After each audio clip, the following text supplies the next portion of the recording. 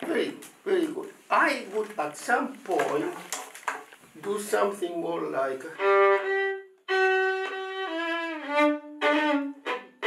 Today they don't do it, but in my time they did.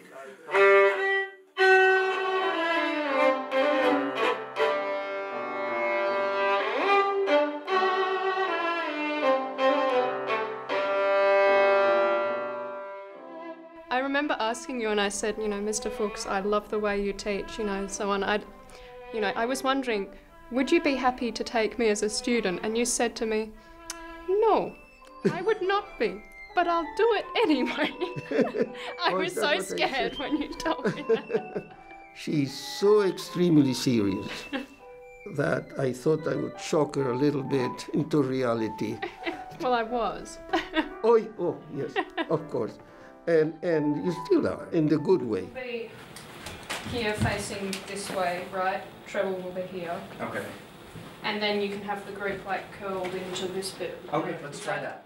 Well, I had the very good fortune of meeting Karen Gomyo, and when I was looking for a teacher, I asked her whether she had any recommendations, and she said, Well, you could try my former teacher. So I was really terrified of meeting him. That was my first impression. right. And then I saw you teach the next day, and for you know five or six hours, I was just like the whole time because it was You were just- writing all the time. I know, but was I had to write everything down because it was I didn't want to like lose a single second of what he was saying. It was it took me like 10 minutes of watching him teach to know that I wanted to study with him. It was just Not less than that? Oh, oh, oh, I'm sorry. To be a little early, so I'm going to tell her to play as fast as possible. Okay. um Yeah. Christoph very kindly uh, invited me a couple of years ago to do a mini concert up here and we had afternoon tea and played some really wonderful music. So we just clicked.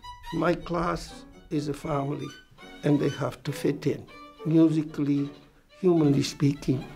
And she was just perfect.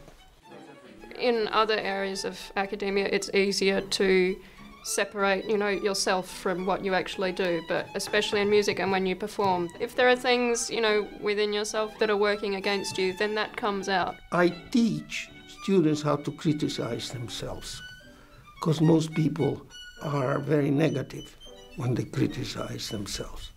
I don't teach the violin, I teach people that play the violin. Mm-hmm. And you cannot separate the two. If you work hard, you need a reward. And the reward is the love that they give to what they do, to their work, and to themselves. And to themselves, especially. Basically, everything is done with love, really. Even when you're doing the most simple technical exercises, expecting the most of yourself, you know, is a good thing, but you have to be demanding, but in a kind way and in a compassionate way. And I never had that before I came here. Yeah, If- perfection is utopical, isn't it? yeah. Yes. Um, it doesn't exist, but you have to aim for it.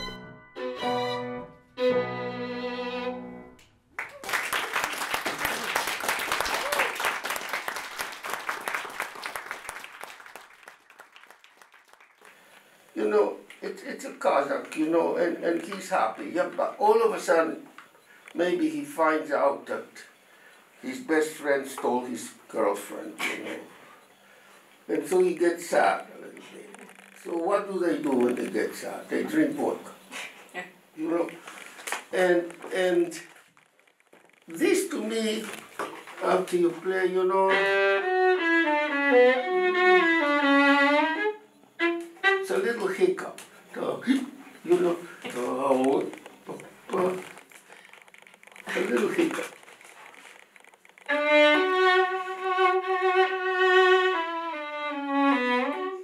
I know Emily will do extremely well in music. I don't have a crystal ball. I can't tell you what will happen 20 years from now or even five years from now. But the likelihood of her having a successful life as a violinist, as a musician, at large. Yeah, that's much better. Yeah.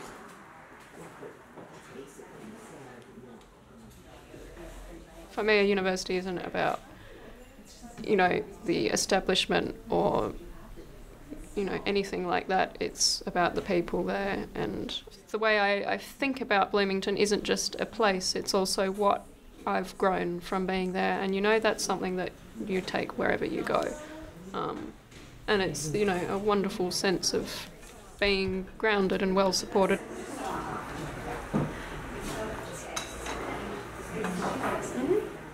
A teacher is always sad when a student leaves, but you cannot develop just drinking from one source. You know, you have to drink from other sources, but you have to know when. And she's ready.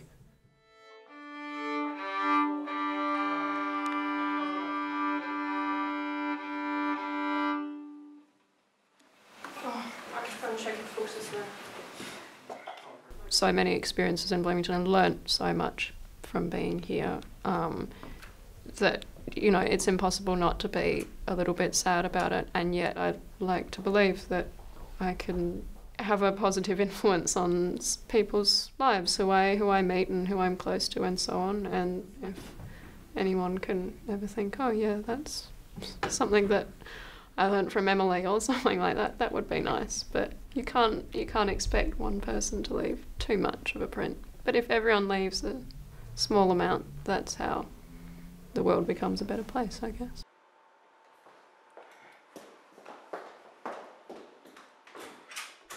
The university is full of fit prints. Every student leaves something here. No exception.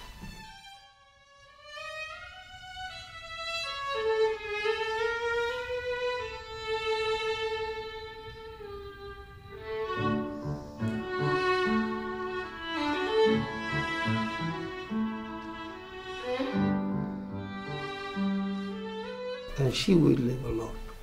Rather Bigfoot.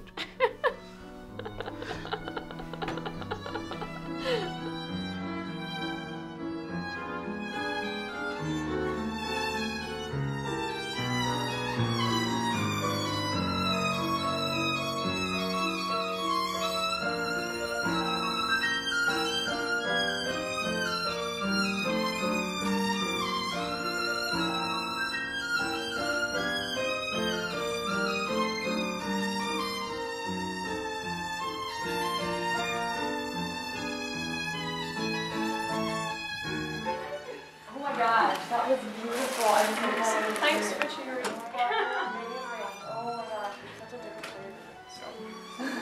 Oh, good work. Yeah. That was the best I've heard you play. Really? Totally. Yeah. I'm glad to hear it. Yeah. Thanks for coming. You're wonderful.